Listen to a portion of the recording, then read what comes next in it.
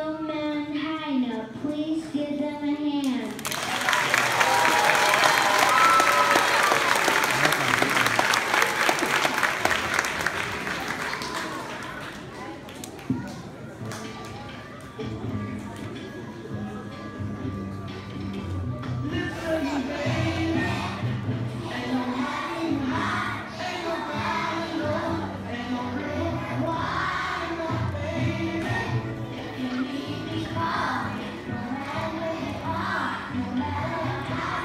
Yeah.